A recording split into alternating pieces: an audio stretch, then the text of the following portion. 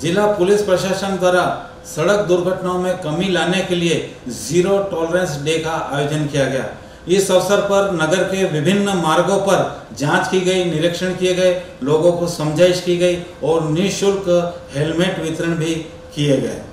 जैसा आपको पता है, यातायात लापरवाही पूर्वक वाहन चलाने से, शराब पीकर वाहन चलाने से राज्य में जो है दुर्घटनाओं में काफ़ी मौतें होती है और इस मामले में हमारा पुलिस मुख्यालय भी काफ़ी चिंतित है।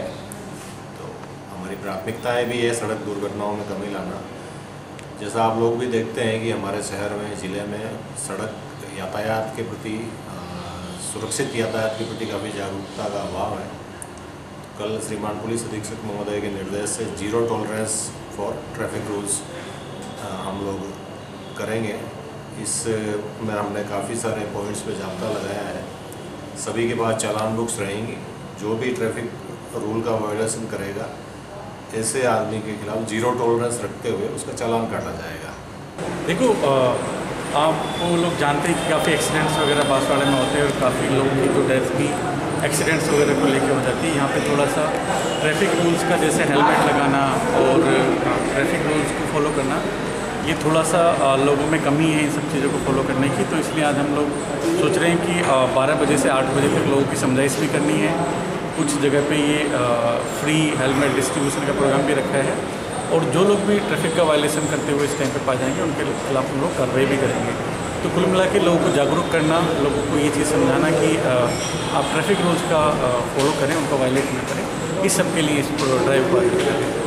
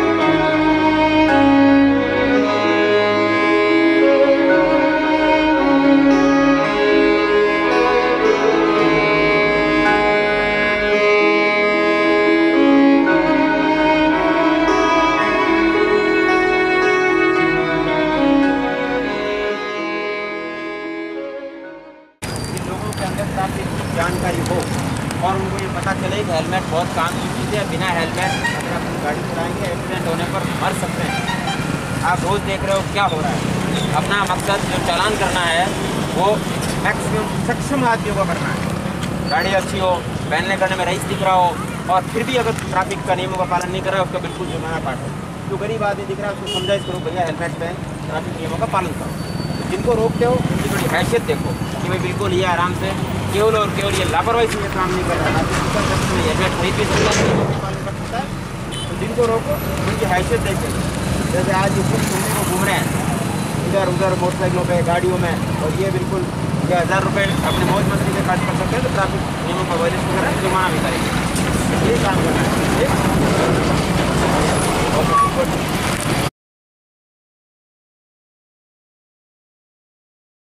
अब की बार तूने हेलमेट नहीं पहना तो तेरा हम जुर्माना कर देंगे तेरी गाड़ी भी जब्त कर देंगे, ठीक है?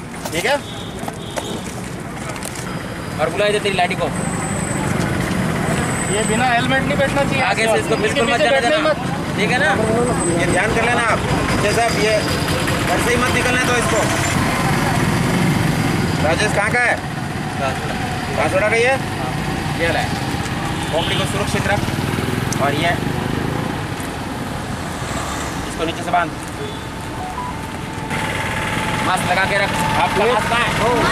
मास्क लगाओ। हेलमेट क्यों नहीं पहन रहे हो? हेलमेट क्यों नहीं पहन रहे हो? खोपड़ी फूटने का डर नहीं है? या कोई स्पेशल कवच दे रखा है? कि खोपड़ी नहीं फूटेगी अपने तो गिर जाएँगे तो भी। इधर इनसे ही पहनो। पकड़ा तेरी पति को पहना ही। है बाँध इसके पीछे नीचे से। और इसको बिना हेलमेट अब सड़क पे मत आने देना। ठीक है? ये बाबा री क्या बात? बाबा कौन से? रामदेव जी? या कोई और? चलो वेरी गुड इसको करो बंद और आगे से हेलमेट पहन के ही आप गाड़ी चलाना। ठीक है बहन जी? चलो जाओ बढ़िया। बिना हेलमेट रोड पे मत आना। हेलमेट दे रहे साहब कभी उतार के मत आना ठीक है? हेलमेट पहन के आना। ये और इनको और साथ लेके घूम रहा है। खोपड़ी को सुरक्षित रख तेरी। और इन बच्चों को मास्क पहना के रखो ठीक है? और आप भी खुद चलो बढ़िया। गोविंद चरपोटा। तो भैया गोविंद आगे से बिना हेलमेट सड़क पे मत आना। नहीं तो हम बढ़िया सेवा करेंगे आपकी ईमान के चलना। ठीक है? हेलमेट गाड़ी बैठने ठीक है ना बहन जी? समझा देना इनको। ठीक है, जाइए। ठीक है? ओके।